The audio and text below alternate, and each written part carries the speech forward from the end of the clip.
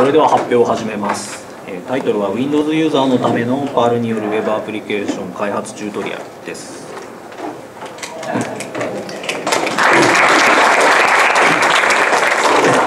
えーと、私、井内と申します、えー、ヤプシスポンサーをしているシックスアパートという会社で開発エンジニアをやっておりまして業務としては主にムーバブルタイプという GMS 製品の開発を担当しております。IT 系の勉強会にもよく行ってるんですがその場合は本名か大体増内というアカウントでやっております。えー、本題に入る前にちょっとだけ宣伝させてください、えー、弊社シックスアパートでは現在エンジニアを募集しております。今年は本社機能をアメリカに移したりとかですねあとショートノートという新サービスを発表したりといろいろなことをしております。そんなシックスアパートにご興味のある方がいらっしゃいましたら私の方にお声掛けいただけましたら幸いです。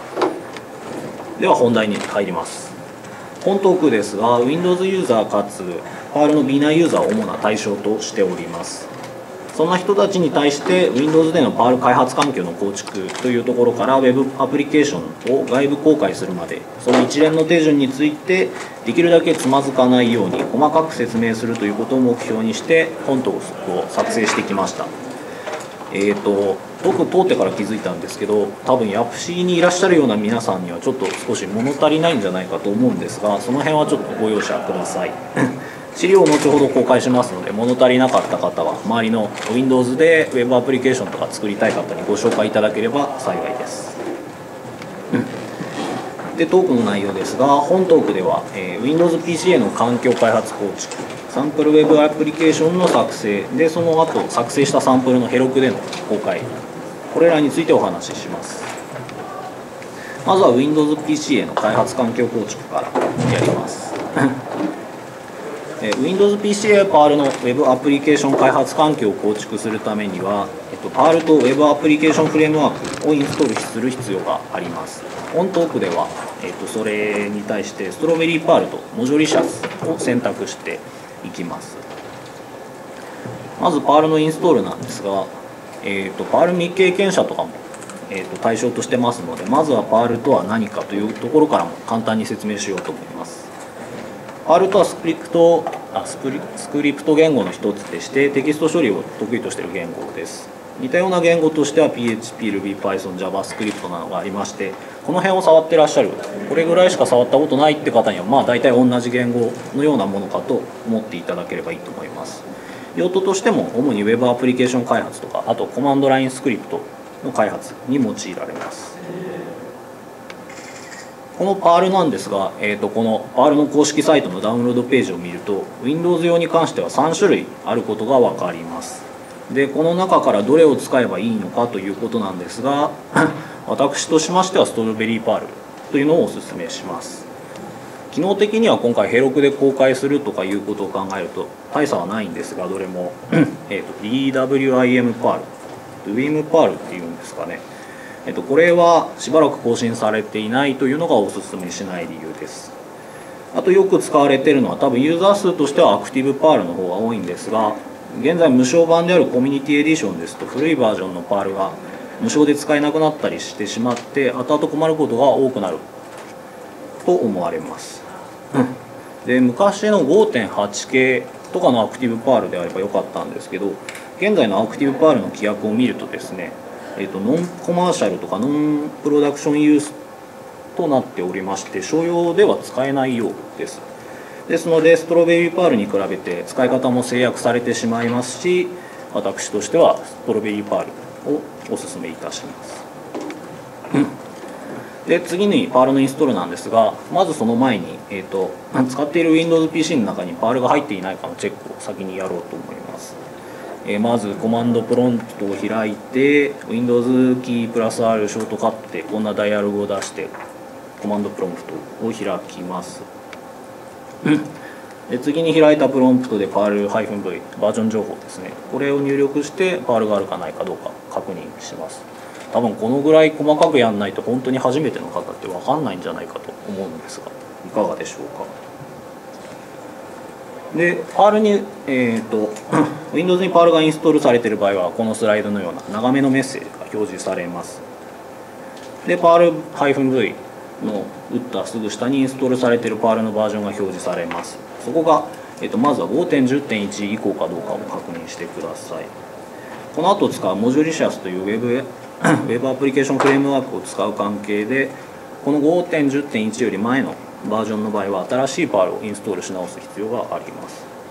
でこれに関してはジャマダムさんという方が開発されているモジュレガシーとかを使えば、えっと、これ以前のバージョンでも使えるんですが今回はちょっと省略します、うん。で次に Windows パールがインストールされてない場合パール -v って打った場合は、えっと、このように、えっと、コマンドはありません的なメッセージが2行程度のメッセージが出ます。でこのようにエラーが出た場合もパールのインストールをする必要があります。で Perl がインストールされているかどうかを確認した後 Perl のインストールが必要な場合は、えっと、スライドの一番上のこの辺の公式サイトから、えっと、 Strawberry Perl をダウンロードします。でいくつかのバージョンがあるのですが、えっと、 recommended version の32ビット版をダウンロードインストールしてください。マシン環境に合わせてインストールする Perl を変えるっていうのは多分初心者には判断が難しいと思うので一番無難でどこでも動きそうなこのバージョンの指定にしています。以上でパールのインストールに関しては終了です。次はモジュリシャスのインストールに移ります。モジュリシャスというのは何かというと Web アプリケーションフレームワークの一つでパールだと他にアモンズダンサーカタリストなどがあり多言語であれば Ruby on Rails、KPHP、Django などといったものがあります。この辺を使われている方はまあ同じようなことができるものだと思っていただければイメージしやすいのかなと思います。で Web アプリケーションフレームワークは何かというと Web アプリケーションの開発を楽にするためのライブラリ集っていう言い方が一番分かりやすいかなと思います。これを使うことで Web アプリケーションの開発コースを削減でき品質を高めることができます。でパールにはモジュリシャス以外にも Web アプリケーションフレームワーク和風があることは説明したんですがその中でなぜモジュリシャスを選んだかといいますと他の Web アプリケーションにフレームワークに比べて日本語の入門資料が多いからです。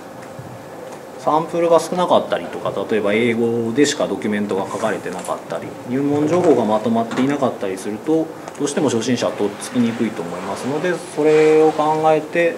モジュリシャスを選択しました。ここに列挙されてるスライドに列挙されている資料は入門向けで情報がまとまっているものを記載してます。えと後ほどスライドは公開します。で本トークでアプリケーションの開発部分はあまり、えーと、ほとんど何も説明しないような状況ですのでご興味ありましたらこの辺を触ってみてください。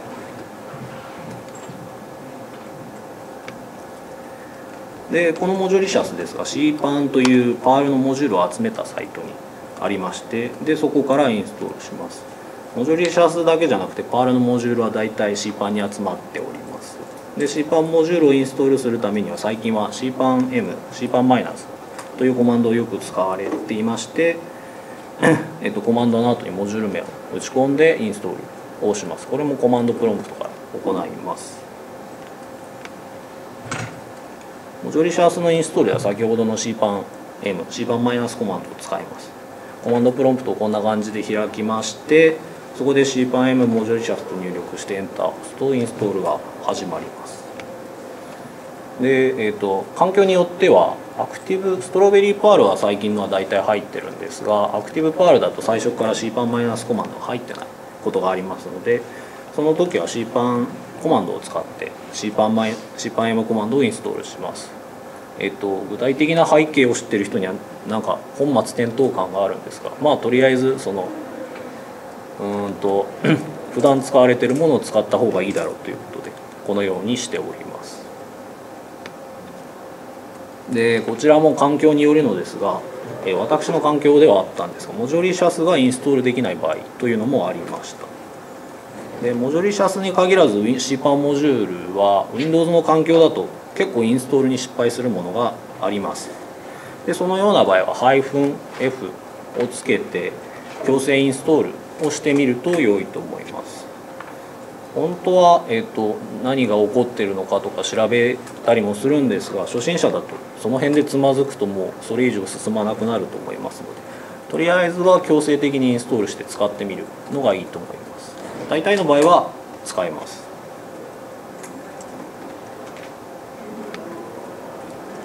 で開発環境に関しては ストロベリーパールとモジョリシャスに関しては以上です。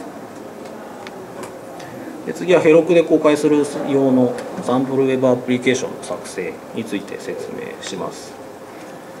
実際はそんな説明がないんですがここではヘルパーコマンドモジョリシャスのヘルパーコマンドを使ってサンプルアプリケーションを生成する程度のことでとどめます。詳しい開発ノウハウは、えー、と本資料で説明したさっきの場所さっきのリンクとか後々説明する場所を参考にしてください。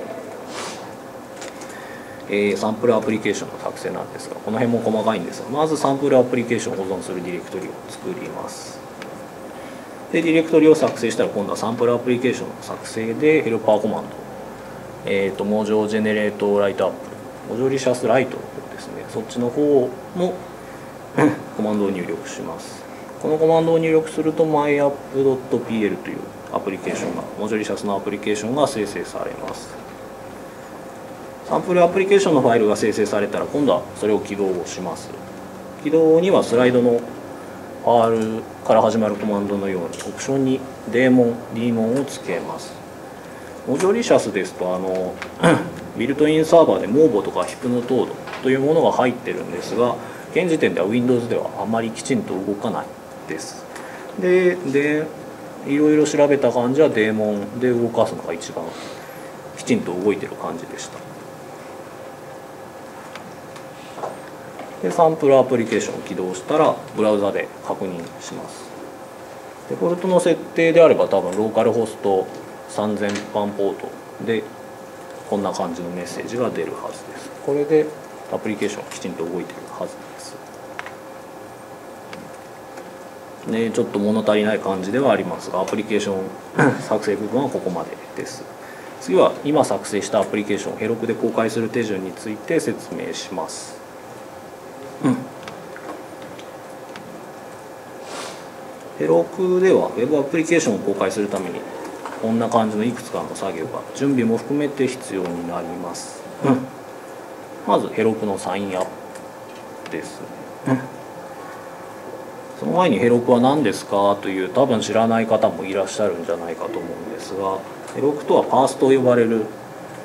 えーと、プラットフォームアザーサービスですね。その一つでして誤解を恐れずに言えば Web アプリケーション用レンタルサーバーのようなものです。基本的には開発したアプリケーションの部分だけを面倒を見れば OK で VPS みたいにその うんと RPM がバージョンアップしたりとかそういう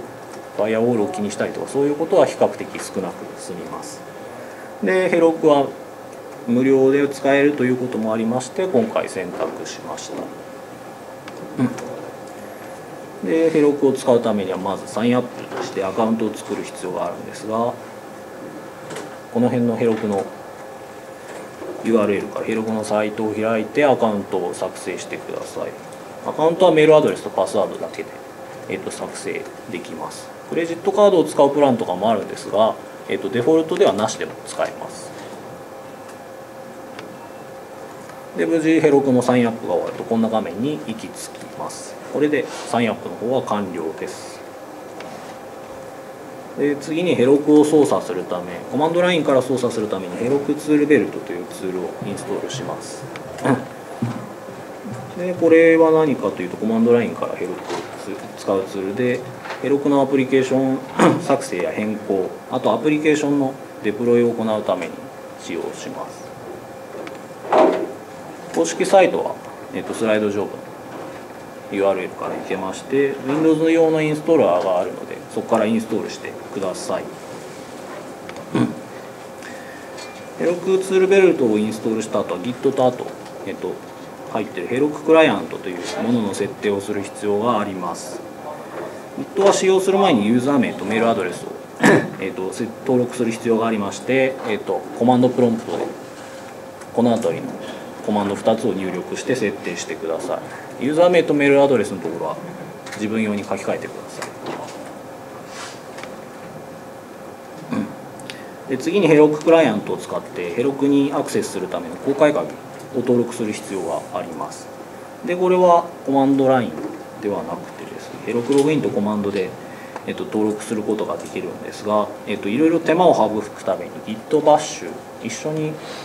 えっと、ヘロクツールベルトを入れた時に入る Git から登録されるアプリケーションの Git バッシュから設定してください。でこれを設定設定の時にはヘロクのサインアップしたユーザーのアカウントとパスワードが必要になります、うん、で以上でヘロクツールベルトの説明は終わりで次はアプリケーションの作成に行きます、まずはサンプルアプリケーションを作成したディレクトリに移動して Git のリポジトリを作成しておきます。作成は Git init コマンドでできましてこれ先に作っておくとヘロクアプリケーションを作った時に、えっと、いろいろ設定が自動的に追加されるのでこのようにしてます。で次はヘロクアプリケーション作成なんですが、えっと、スライドのコマンドちょっと長めのコマンドを入力するとアプリケーションが設定されます。